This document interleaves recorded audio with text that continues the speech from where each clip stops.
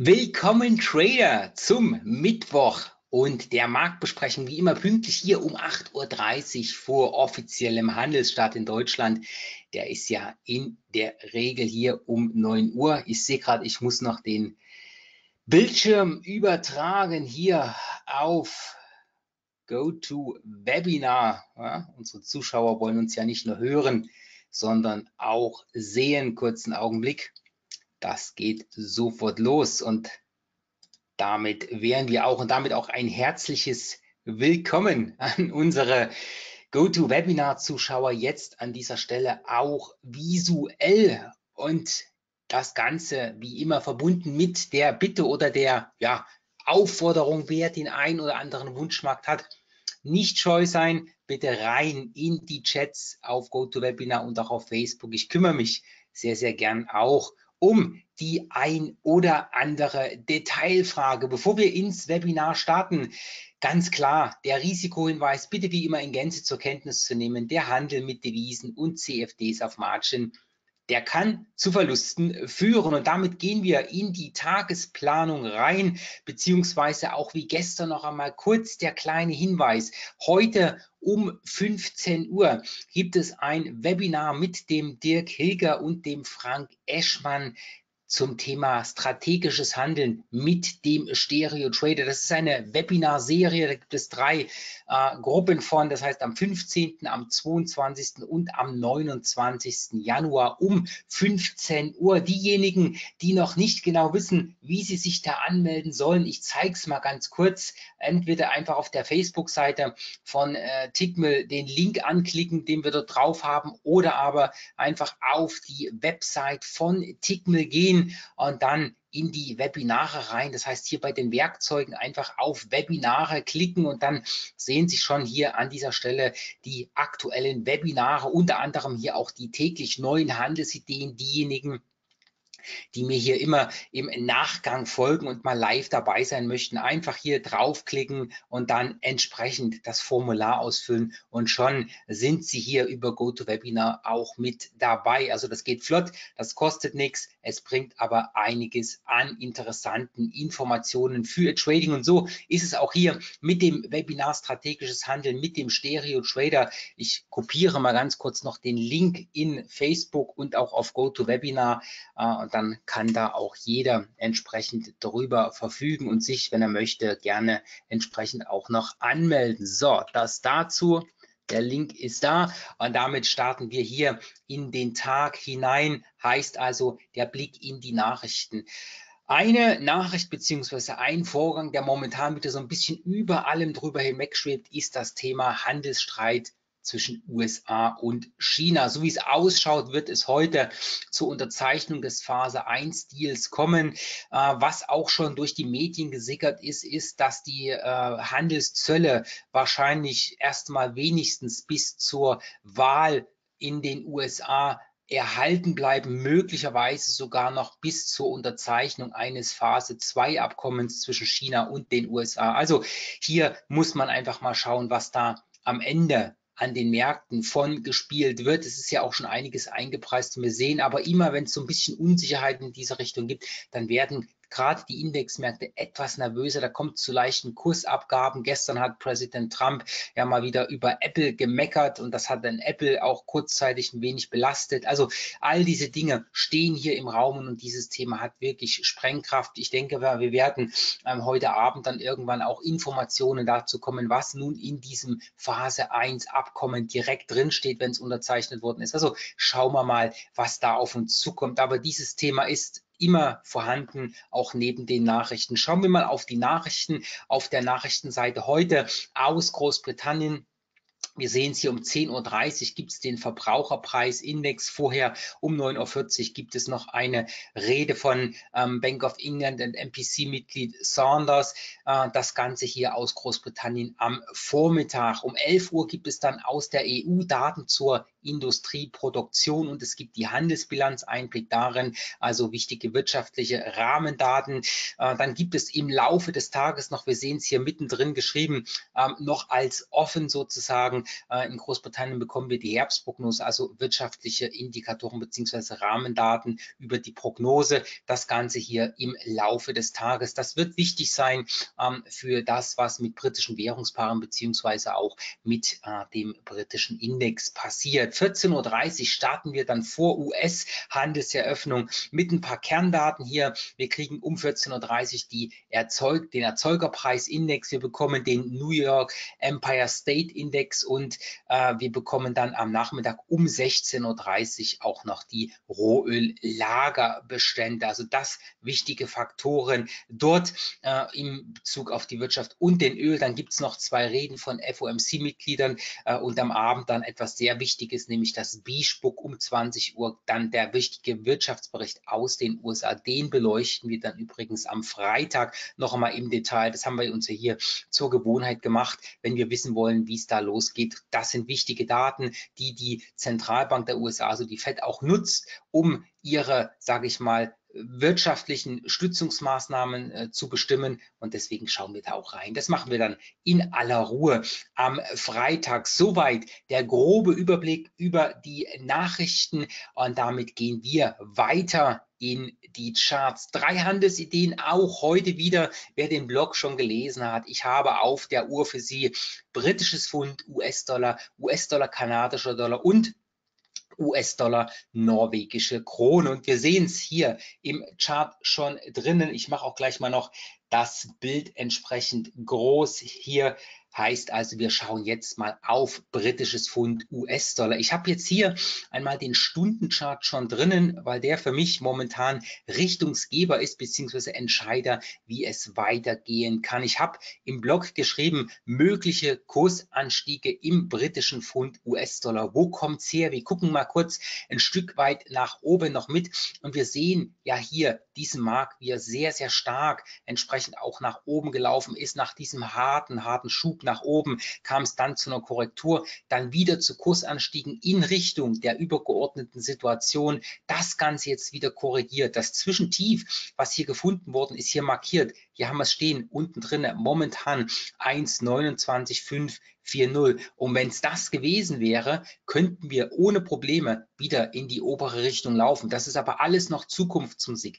Aber interessant ist, was jetzt gerade gespielt wird. Und wenn wir uns das Ganze mal anschauen, sollten wir hier ein temporäres Zwischentief haben, könnten wir durchaus etwas an Gegenbewegung sehen. Ja, auch wenn wir hier diesen untergeordneten Abwärtstrend sehen, der setzt sich ja erst fort, wenn wir hier drunter laufen. Und ja, sag ich mal, nachhaltig abwärts geht es erst dann nach unten, zumindest aus technischer Sicht, wenn wir hier unten diese Marke von 1,29 unterschreiten. Soweit ist es aber noch nicht. Trotzdem die Marke von 1,29540, die wir hier unten haben, die ist relevant. Dort hat die zwischenzeitliche Kursumkehr gestartet. Wir sehen gestern die Umkehrkerze und wenn sich das Bild nach oben hin bestätigt, dann haben wir Chancen, etwas anzusteigen kommt es nicht zur Bestätigung. Das heißt, prallen wir hier oben in diesem Bereich ab, habe ich hier auch einen Widerstand noch eingezeichnet an dieser Stelle hier. Das ist der letzte Ausbruchsbereich, den wir hier gehabt haben, als sich hier dieser Abwärtstrend untergeordnet gebildet hat, die 1,30540, diese Marke. Wenn es dort tatsächlich zu einem nachhaltigen Abprall kommt,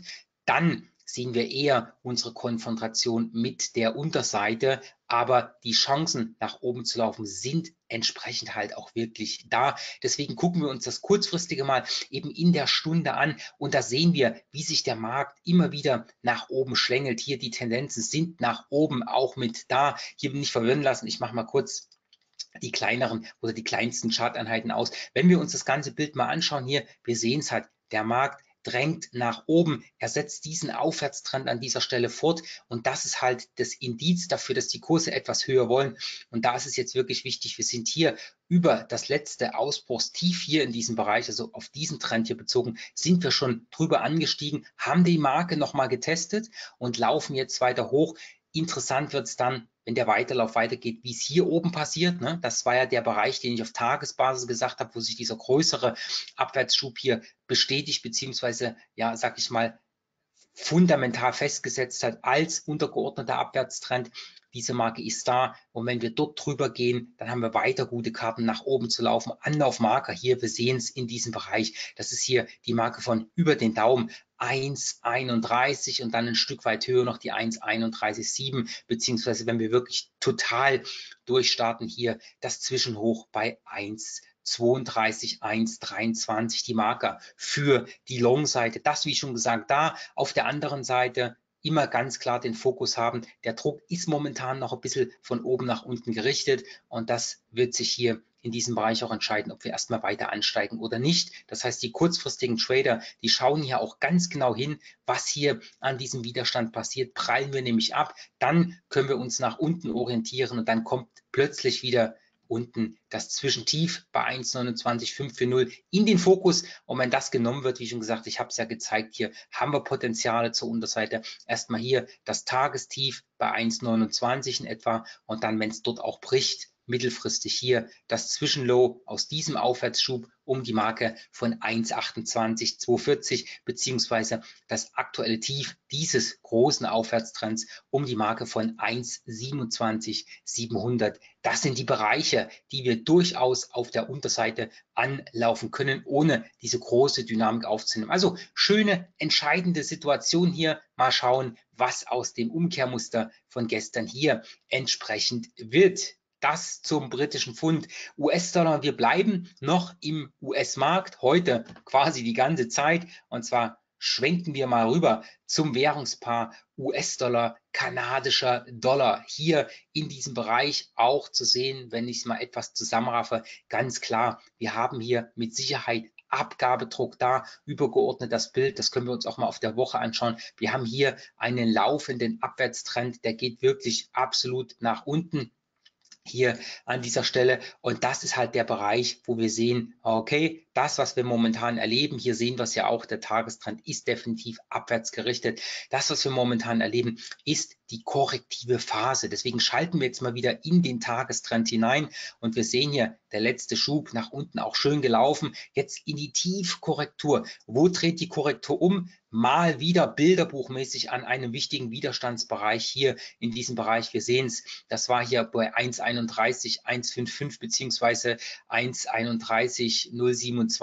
Das waren Marker, die hier drinnen geschwankt haben. Und hier sind wir zwischendurch auch rangelaufen. Wir hatten das Zwischenhoch der Korrektur bei 1,31,043 ähm, und seitdem kommen wir hier nicht so richtig aus der Knete. Das heißt, der Markt, der tingelt hier so seitwärts hin und her. Und da haben wir halt ausladend, aber trotzdem vorhanden. Zwei wichtige, relevante Punkte. Wir haben das Tief hier unten um die Marke von knapp 1,30,3 und das Hoch da oben bei 1,31,043. Das ist eine interessante Trading Range. Und was wir hier halt sehen ist, dass der Markt immer mal wieder den unteren Bereich angetestet hat und dann in die Mitte gelaufen ist. Und wir wissen ja, der Markt läuft eher von oben nach unten. Das heißt, brechen wir hier unten drunter, wäre das dann wirklich die Bestätigung, dass der Markt nach unten will. Das heißt, wenn diese Marke rausgenommen wird nach unten hin, sind weitere Level zur Unterseite hin da. Die sehen wir gleich, auch wenn wir in den Stundenchart schauen. Ziel des Bruchs nach unten ist auf alle Fälle erst einmal, wenn sich dieser Trend hier nach unten fortsetzt, selbstverständlich das Trendtief um die Marke von 1,29,516.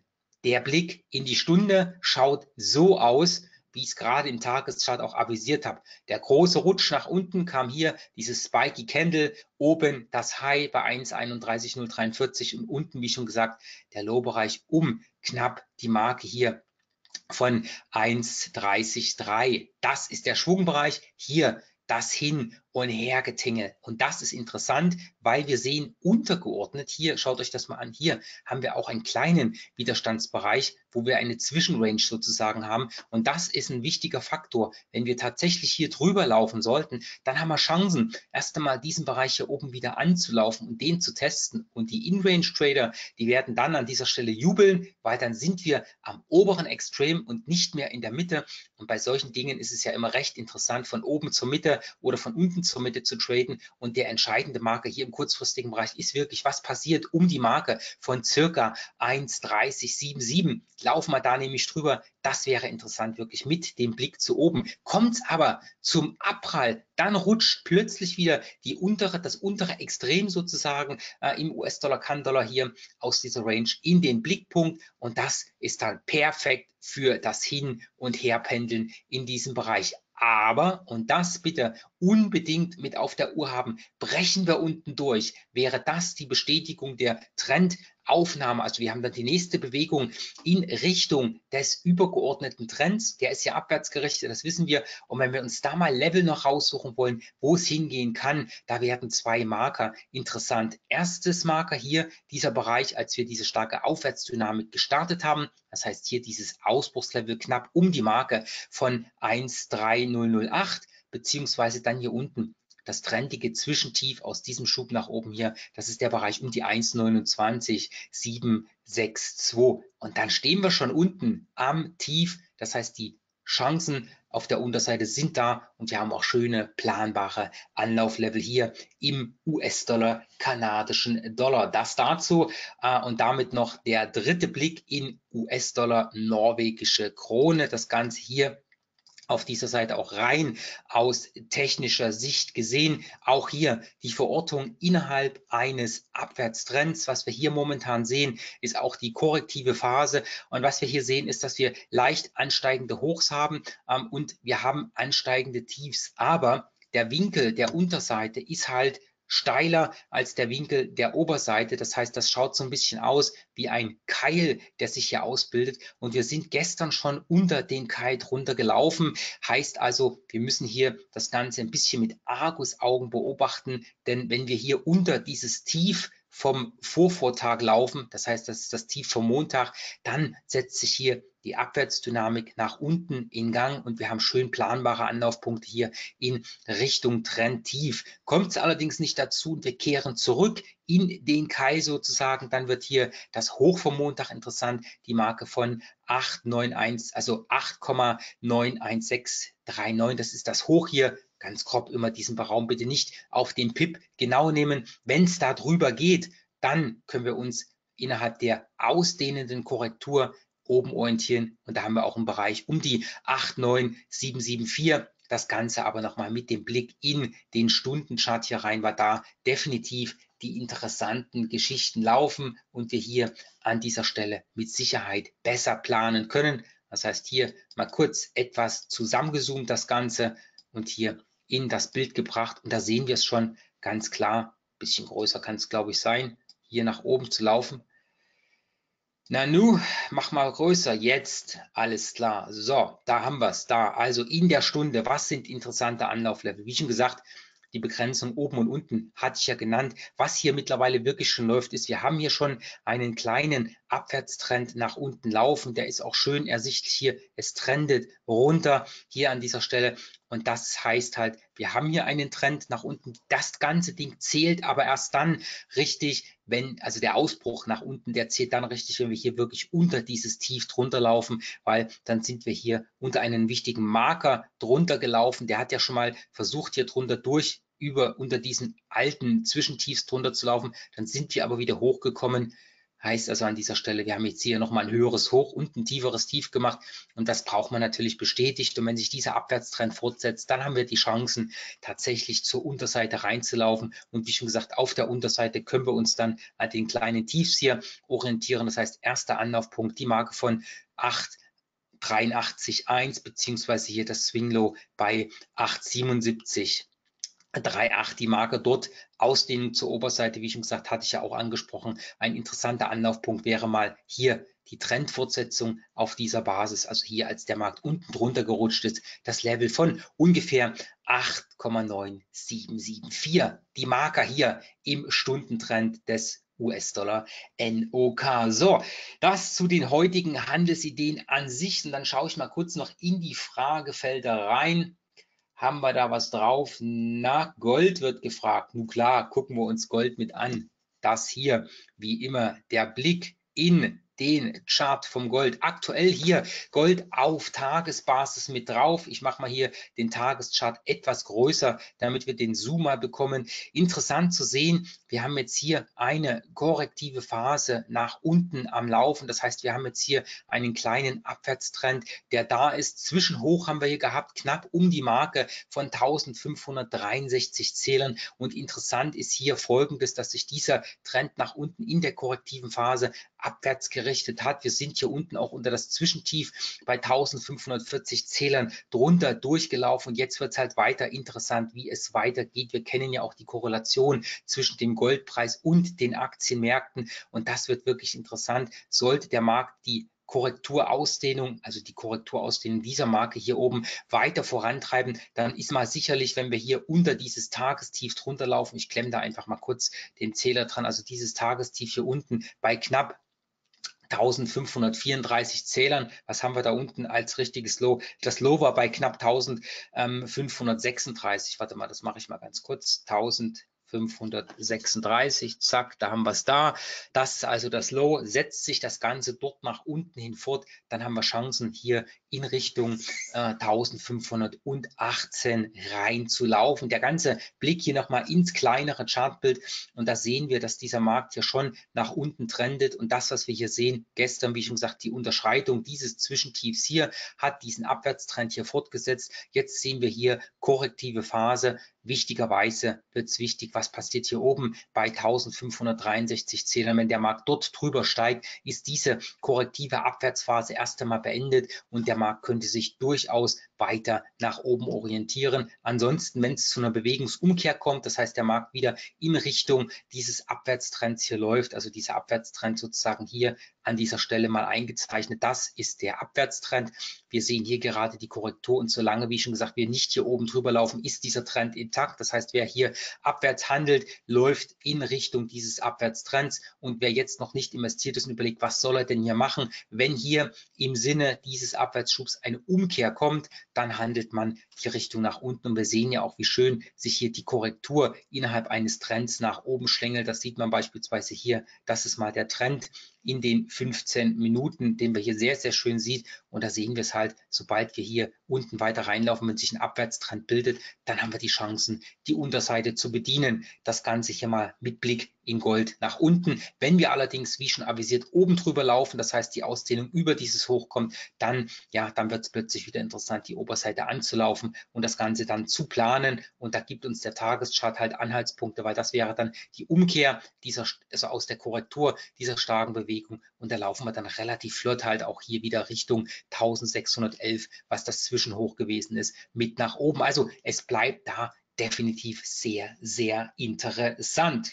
Das dazu. So, weitere Fragen haben wir nicht. Das heißt, an dieser Stelle sage ich wie immer Danke für die Zeit heute Morgen auch wieder im Live-Webinar. Alle anderen, die später zuschauen, auch da natürlich gute Trades fragen gerne. Sie können gerne auch mal die ein oder andere Frage auf einen Post mitschicken, den ich morgens auch immer reinschreibe. Dann gehe ich gerne auch einen Wunschmarkt an dieser Stelle mit an. Das heißt für heute allen gute Trades. Heute Nachmittag 15 Uhr, wie schon gesagt, ist dir Kilker dran. Da macht die Elena hier an dieser Stelle auch die Webinarführung. Wir hören und sehen uns morgen früh um 8.30 Uhr wieder. Bis dahin allen eine gute Zeit und entspanntes Trading. Bye bye.